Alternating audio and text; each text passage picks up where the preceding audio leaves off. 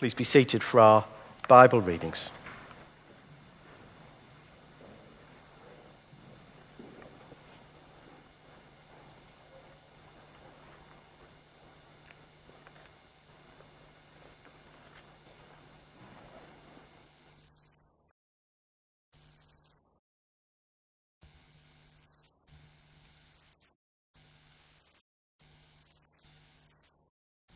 The first reading is taken from Paul's second letter to the church in Corinth, chapter 8, beginning at verse 1. In this reading, the Apostle Paul writes to the church in Corinth about how to excel in being generous. We want you to know, brothers and sisters, about the grace of God that has been granted to the churches of Macedonia. For during a severe ordeal of affliction, their abundant joy and their extreme poverty have overflowed in a wealth of generosity on their part. For as I can testify, they voluntarily gave according to their means, and even beyond their means begging us earnestly for the privilege of sharing in this ministry to the saints. And this, not merely as we expected. They gave themselves first to the Lord and by the will of God to us, so that we might urge Titus that, as he had already made a beginning, so he should also complete this generous undertaking among you. Now, as you excel in everything, in faith, in speech, in knowledge, in utmost eagerness, and in our love for you, so we want you to excel also in this generous undertaking. I do not say this as a command, but I am testing the genuineness of your love against the earnestness of others. For you know the generous act of our Lord Jesus Christ, that though he was rich, yet for your sakes he became poor, so that by his poverty you might become rich. This is the word of the Lord. Thanks be to God. Hear the gospel of our Lord Jesus Christ according to Mark chapter 4, beginning at verse 3. Glory to you, O Lord. In this reading, Jesus tells the parable of the sower, seed, and soils, and then explains what it means. Listen. A sower went out to sow, and as he sowed, some seed fell on the path, and the birds came and ate it up. Other seed fell on rocky ground, where it did not have much soil, and it sprang up quickly, since it had no depth of soil. And when the sun rose, it was scorched, and since it had no root, it withered away. Other seed fell among thorns, and the thorns grew and choked it and yield, yielded no grain.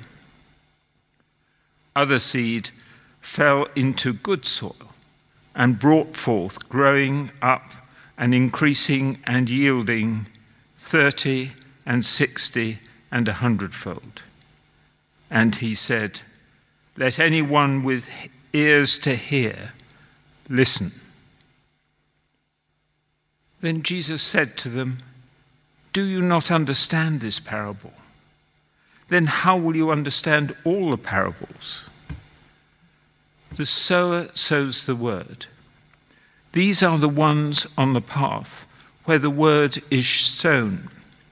When they hear, Satan immediately comes and takes away the word that is sown in them.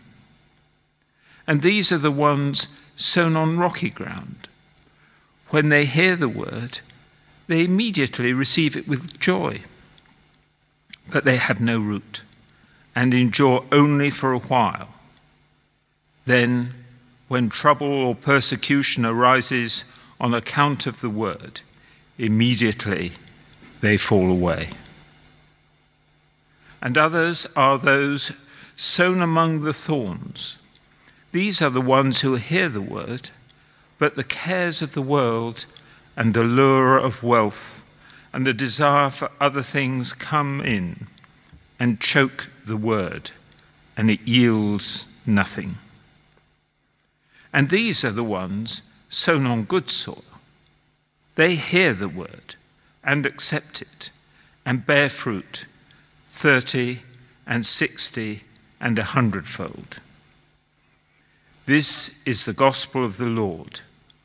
Praise to you, O Christ.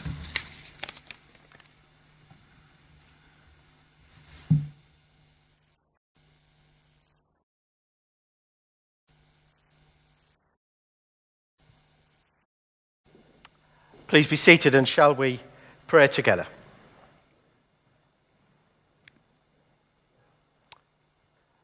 Lord, may my mouth speak wisdom and the meditation of my heart bring understanding. That your Holy Spirit would be our teacher this morning to awaken our hearts, expand our minds, and shape our identity in you today. In Jesus' name we pray. Amen. Anyone here good at blowing up balloons?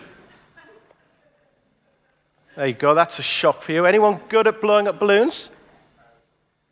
Anyone? Hopeless? Anyone like me? I've got something to admit this morning. I can't blow up a balloon. Am I the only one? Anyone? Can anyone blow up a balloon? Rachel? There you go. Come and get one. Who else can blow up a balloon? There are five. Pat wants one. There you go. Blow, you can blow up that. Give one. Anyone else want a balloon? Right, you need one of these then, don't you? Like me. I come prepared. Brian, there you go. There's a balloon. Who else wants one? There you go, Keith. And one more. Graham, you're clever. You will work it out. Now, keep blowing, keep going, and I'll, I'll tell you when to stop, basically. I've got one as well. Keep blowing. And you might be wondering, why on earth am I giving you these balloons? Yeah, Rachel, that's about fine. That's great. Don't do anything with it. Just keep it like that. Pat, yeah, yours is fine as well. Keep going. Bit more. There we go. Oh, Brian, he didn't need it. He can do it. There we go. That's fine. Keith, hold yours there. We're getting there. Keep going. And you need, you need to hold it. Don't tie it. Don't tie it. You need, to, you need to hold it. Keep going, Graham. It's all right. I'll come to you last. You see, you might be thinking, why on earth am I giving you these balloons? And you see, I'm giving you these balloons because what I'm going to do is I'm going to use these balloons to explain the message of Jesus' story this morning. You see, when Jesus walked on this earth, he used lots of different ways, didn't he, to, to teach people. But one of the main ways in which he taught people was through stories or through parables. And parables are just stories from everyday life that he used to connect people with a God who longed to have a relationship with his people. And of course, this scene is a most famous scene. Everyone would have seen that scene. You know, we can still imagine that scene and we can still think about this scene maybe as we go about St. Ouen of a sower or a farmer sowing some seed. And of course, in this story, what we, what we read and what we hear is that often when Jesus used stories, he never explained them. But this one he did. So it makes it a bit easier for us. And Jesus says that there is a, a sower, a farmer, who sows some seed. Jesus doesn't say who the sower is. And then he says there's some seed. Now we can take from the seed, he calls it the word. Now, we could say that's the Bible. We could say that was Jesus' message that he wanted to bring. And then he said there are four different types of soil, didn't he? He said there's the seed that falls on the path or the hard ground. He said there's the seed that falls on the rocks or the shallow ground. Or there's the seed that falls amongst the thorn, like the cluttered or the conflicted ground. And then there's the seed that falls on the good soil. And what Jesus says is that each of those four types of soil represent listeners. And the response that a listener can make upon hearing Jesus' words. So, will we be respond like the seed that fell on the path that represents the hard ground or a hard heart? Or will we be like the, the seed which falls on the rocks? If you like, the, the shallow ground where there would have been a bit of soil, but then it would have all been rocks underneath that represents a shallow heart. Or will we be like the, the seed that falls among the thorns? In other words, it will start to grow, but like you've, you know in your garden, the weeds grow faster than the plants.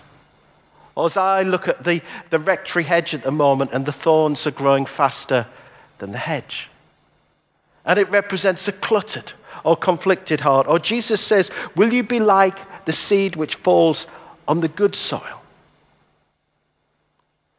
And there the image is presented of a heart of overflowing and overwhelming generosity. You see, here's where, here's where these balloons come in. See if we, if we think about each of these balloons. Now, Brian, come and join me. Keith, come and join me for a moment. Rachel, come and join me. Yeah, you need to put a bit more air in. Graham, how's your balloon doing? Should I borrow it? Let me use that one for. You know, you can't get the, you can't get the decent pumps these days. Brian, where's that nice. Who's got the blue pump? I worked out that the blue pump was the best. Mine wasn't very good. Yours wasn't very good either. So let's have a look.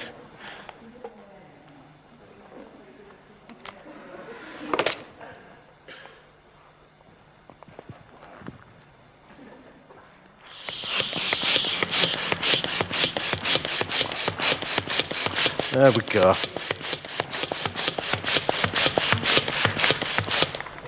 Told you the blue one was the best. Don't tie a knot in it. Only I'm going to tie a knot in this one.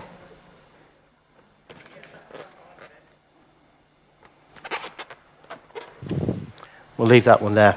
You see, let's use this balloon. You see, for some of us, basically, I'm going to use this balloon, so I'm going to show you how rubbish I am at blowing up balloons.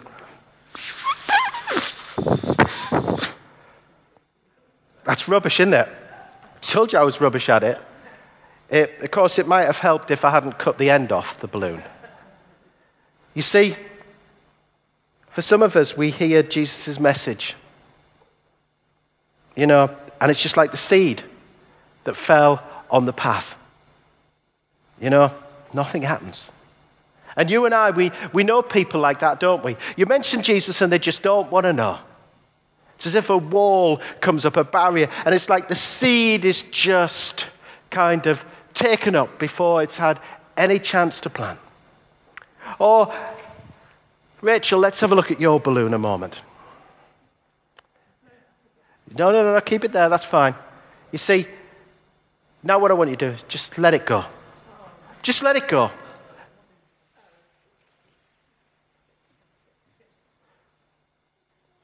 No, no, no, it's all right.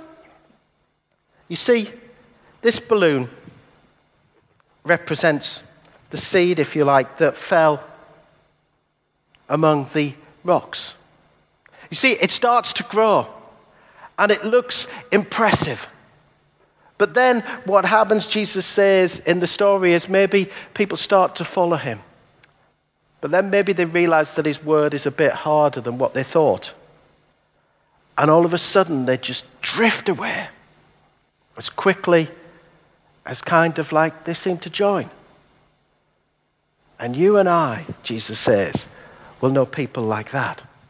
And then let's have a look. Have you, let's have a look at your balloon, Pat. Yeah. Now, Keith, will you tie a knot in your balloon? And Brian, will you tie a knot in your balloon, please? You see, this balloon represents the seed that fell on the thorns. You see, it too looks, starts to grow and looks really, really impressive. But then what happens, Jesus says, is the distractions of life start to come in. Or it could be the, the worries of, of, of life. And all of a sudden, it's a bit like letting the air out of this balloon just ever so gently. And all that happens is kind of like things just take over. And other things become more important. And the growth that happened just slowly dies. And then there are three balloons left.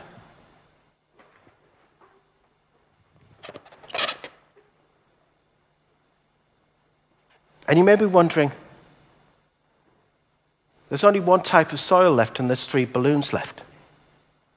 Why are there three balloons left? Well, you see, when Jesus talked about the, the, the soil in the good seed, or the, the good seed in the, in the seed in the good soil, he talked about it in terms of the plural.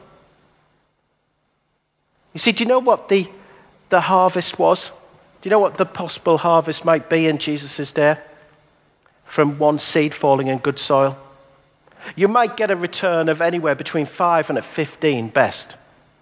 But what Jesus is saying in his story is he says, You have an opportunity through your heart, through being a good heart, of growing a harvest of 30 or 60, or Keith's got the 100 one on.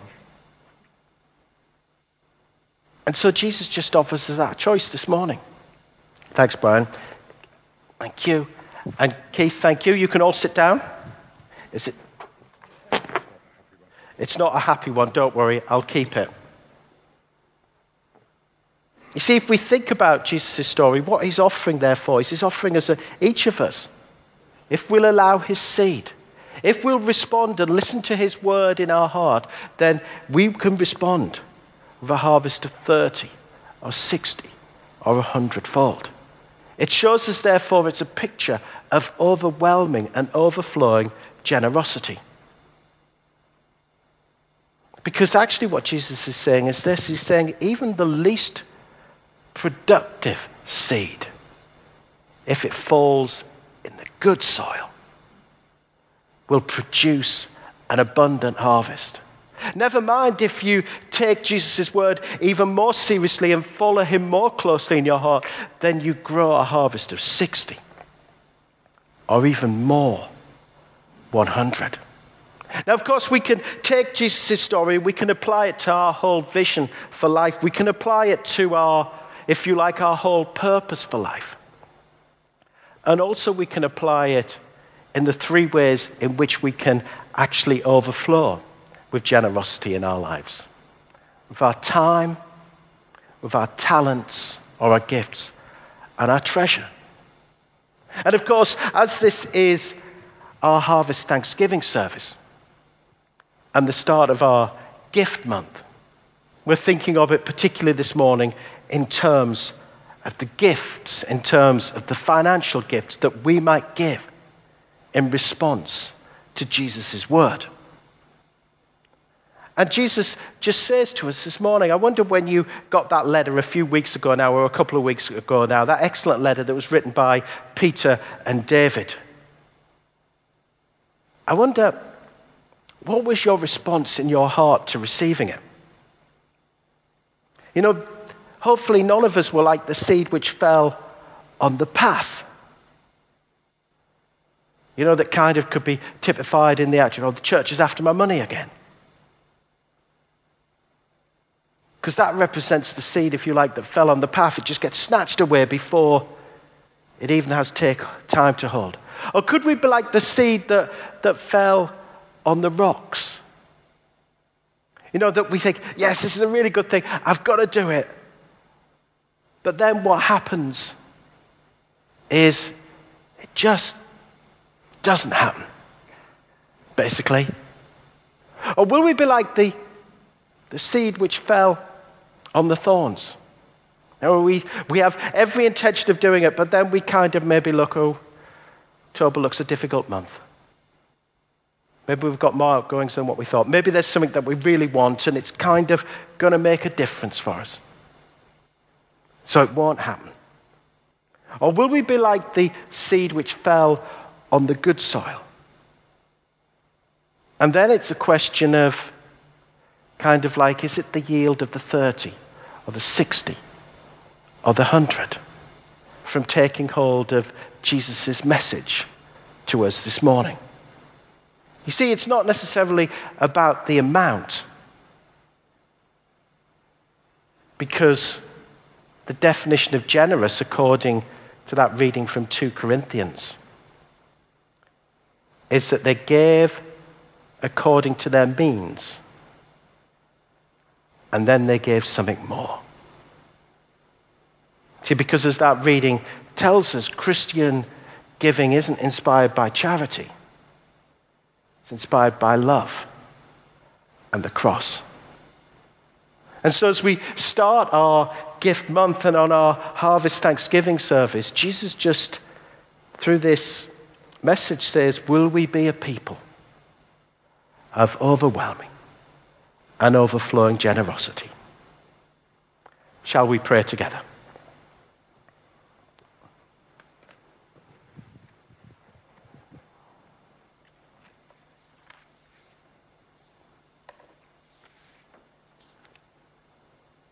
Gracious, and loving Heavenly Father, who gave us in Jesus Christ the example of what it means to be truly generous.